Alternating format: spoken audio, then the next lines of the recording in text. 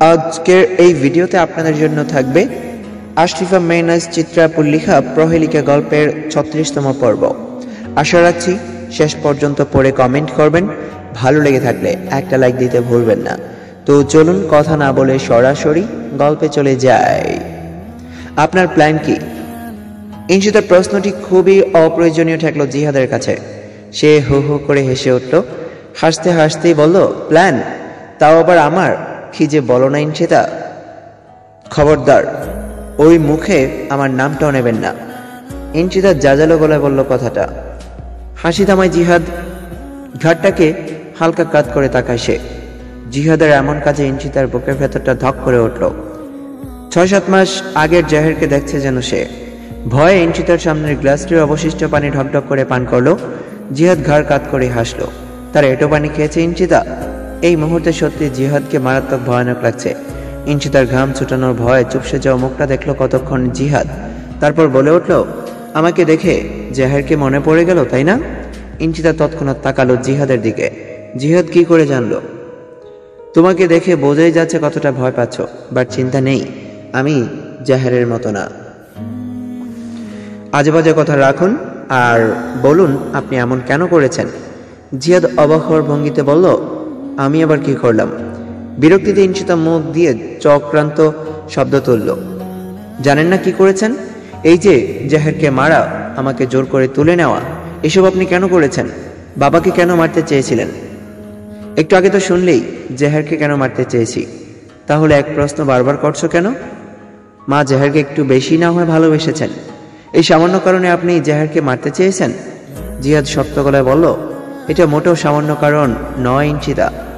তুমি তো মা বাবার সঙ্গ পেয়েছ ছোট্ট থেকেই, তাই তুমি বুঝছ না। আমি তো ছোট থেকেই বাবার আদর পাইনি, মায়ের আদর যতটুকু পেয়েছি, পরবর্তীতে সব জেহের ছিনিয়ে নিল। এতে জেহারের কি দোষ? জেহার তো তখন মাকে দেখতে পারেনি, এখনও না। জেহার অসুস্থ থাকায় মা শুধু ওর প্রতি একটু বেশি অ্যাটেনশন দিয়েছে, ব্যাস। তো জেহার কি দোষ করল? ওর দোষ, ও কেন জন্ম নিল পৃথিবীতে? ও আসার পর থেকে সবকিছু ছিনিয়ে নেয় আমার থেকে। প্রথমে আমার আপন মাকে তারপর সৎ মা আর তারপর আমার ভালোবাসার তুমিকে ইঞ্চিতা যাচ্ছিল সহকারে বলো ভালোবাসা? সিরিয়াসলি? আপনি আমাকে ভালোবাসেন? আপনার কাছে মনে হচ্ছে না এটা পৃথিবীর সেরা জোকস? আমাকে যদি সত্যি ভালোবেসে থাকতেন তাহলে নোংরামো করতে চেয়েছিলেন কেন? আমি এটা করতে চাইনি ইনশিদা আমি সত্যি তোমাকে ভালোবেসেছি। ইভেন এখনও বাসি। ওহো, প্লিজ, দয়া করে নোংরা নোংরামোকে ভালোবাসার রূপ দেবেন না। জিয়াদ অস্থির হয়ে বলল ইনশিতা বিশ্বাস করো। তখন আমার মাথায় পাগল ভর করছিল। আমি সত্যি এমনটা করতে চাইনি। নয়নিকের কথায় আমার যে কি হলো ব্রেন ওয়াশ হয়ে গিয়েছিল একদম। তোমাকে পাওয়াটা মুখ্য হয়েছিল তখন, যে করেই হোক র্যাপ জিহাদকে থামিয়ে ব্রো কিঞ্চিত কুচকায়, ইঞ্চিতা, এক মিনিট। নয়নিকা মানে? নয়নিকা কেন এমন আইডিয়া দেবে? ও কখনই এমনটা চাইবে না। সব আপনার প্ল্যান আমি বুঝি। সত্যি বলছি আমি। জেবাকেও জিজ্ঞাসা করে দেখো, নয়নিকেই এসব করতে বলেছিল। আমি প্রথমে সায় দেয়নি উই আমাকে বারবার বলতো। পরে ভেবে দেখলাম, এমন করে তোমাকে পাওয়াটা আরও সহজ হবে। তাই এমন করেছিলাম।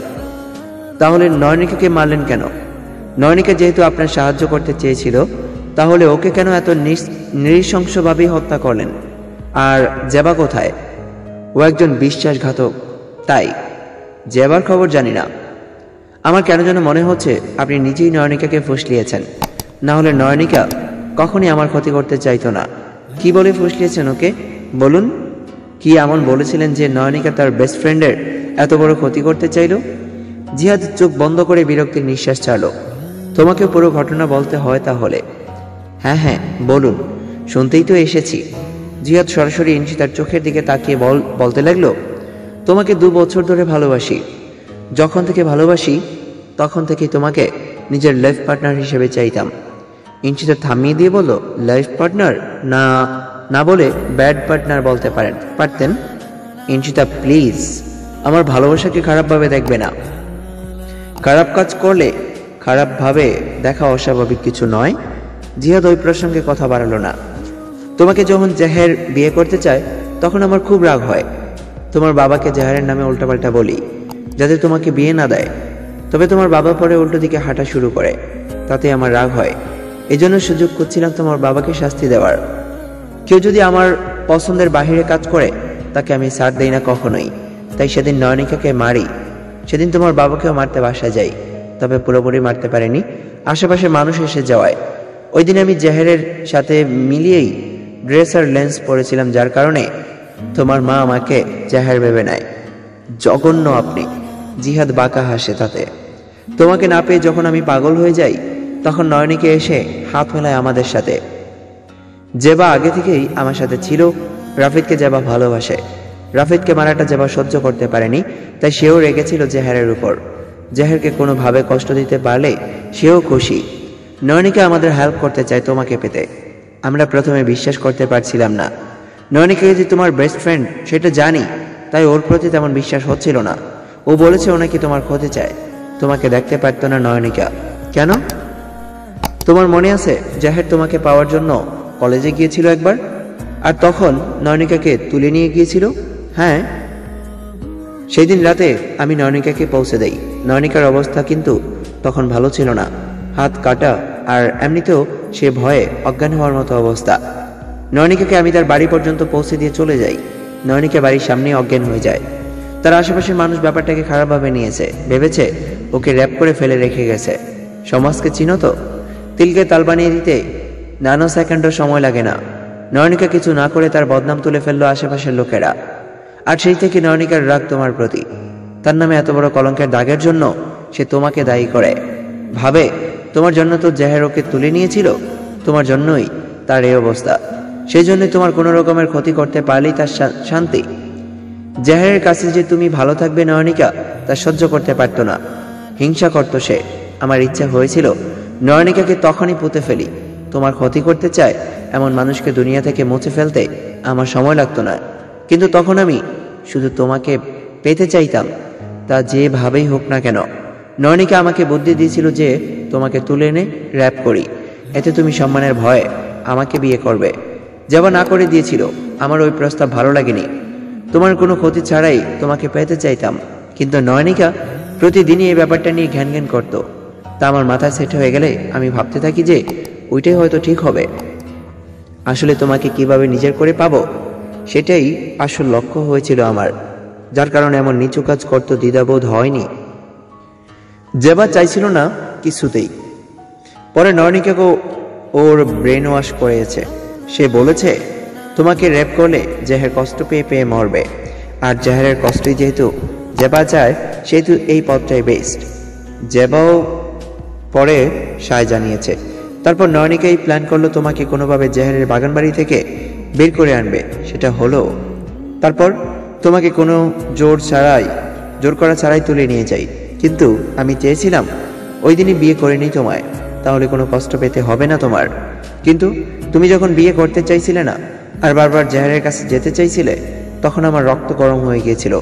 তাই তোমায় ইঞ্চিতা শুধু হতভম্ব হয়ে তাকিয়ে রইল নয়নিকার প্রতিশোধ নেয়ার জন্য। এমন একটা জঘন্য কাজ করতে চেয়েছিল। ওকে মেরেছিলেন কেন? যখন দেখলাম তোমাকে পাইনি, তখন নয়নিকার উপরে রাগ চেপে গেল আমার। আর এমনিতেও তখন নয়নিকার প্রয়োজন ফুরিয়ে এসেছিল। নয়নিকা বেঁচে থাকলে তোমার আরও কোনো বড় ধরনের ক্ষতি করতে বসত। আর যে তোমার ক্ষতি করবে, তাকে মেরে ফেলব না তো তা কি হয়? তাই নয়নিকাকে কষ্ট দিয়ে দিয়ে মেরেছি। আর সেই খুনটা জাহেরের উপর চাপাতে চেয়েছি, ভেবেছি জাহের জেলে গেলে তোমাকে পাওয়া যাবে কোনো বাধা ছাড়াই। কিন্তু পেলেন পেলেন না। তাই তো? আরে, আপনি যদি আমাকে জোর করিও নিয়ে যেতেন না, তাও আপনাকে কোনো দিনও মানতাম না আমি। ভালোবাসা তো দূর। তুমি শুধু সব সময় আমার কাছে থাকলেই হতো। তোমার ভালোবাসা লাগবে না। আমার ভালোবাসা দিয়েই সবটুকু পূরণ করতাম। কথাটা খুব ধীর সরে মাতাল চাহনিতে তাকিয়ে বলল, জিহাদ। এই কথার পর ইনশিতার বসে থাকতে অস্বস্তি হচ্ছিল খুব। ইনশিতা? জিহাদের মাদকতা ভরা। কণ্ঠে ইনশিতার নাম শুনে তার বসে থাকতে আর ইচ্ছে হলো না। ইনশিতা ওঠার আগেই জিহাদ বলল, খুব ভালোবাসি তোমায় ইনশিতা। আমাকে আপন করে নাও।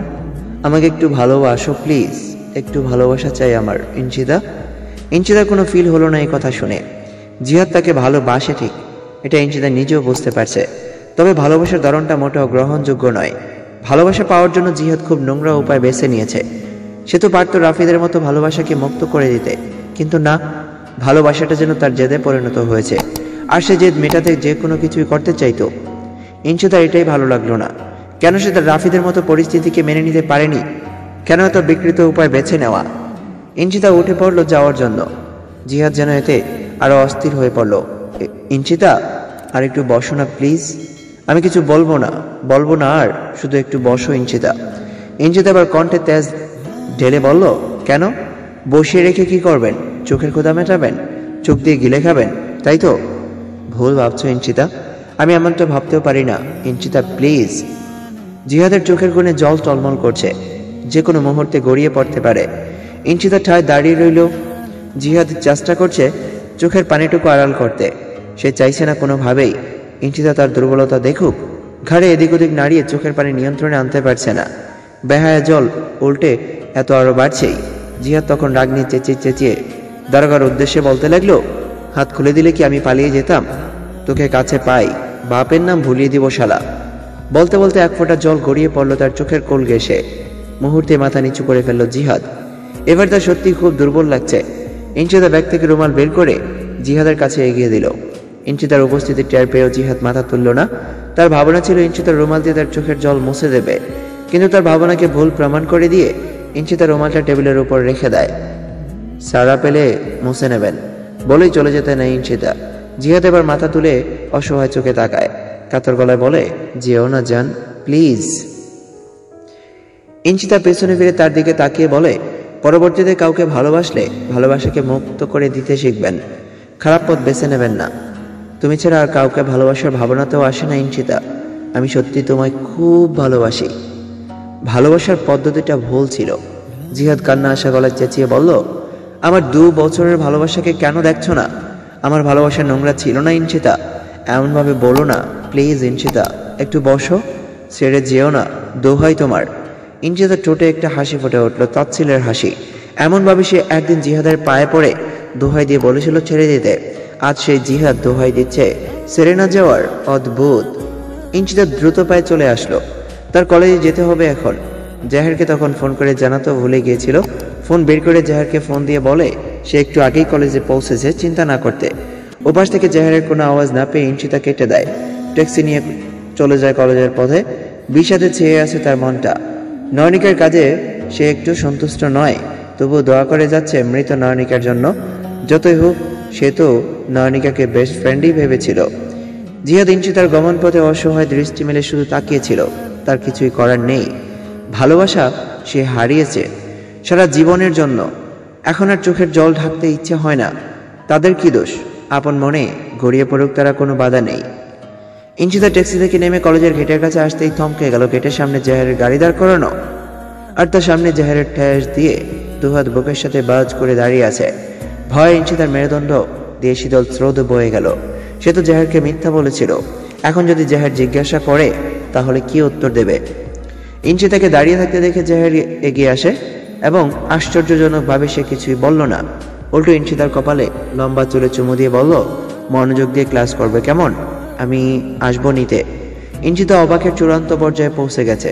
ইঞ্চিতা খেয়াল করল জাহেরের শরীর মৃদু কাঁপছে, তার চোখে দাউ দাউ করে আগুন জ্বলছে যেন, এ আগুন ক্রোধের, যেন সে নিজেকে ঠান্ডা রাখার প্রচেষ্টা চালাচ্ছে। জাহের চলে গেল সঙ্গে সঙ্গেই, আর ইঞ্চিতা থম মেরে রইল। তো ফ্রেন্ডস এতটুকু ছিল আজকের গল্পের পর্ব। কেমন লেগেছে জানিয়ে কমেন্ট করবেন। ভালো লেগে থাকলে একটা লাইক দিতে ভুলবেন না। সবসময় ফারুক স্যারের সাথে অনেক ভালো থাকুন, সুস্থ থাকুন। সেই কামনায় আল্লাহ হাফেজ। বাবাই বাই টাটা।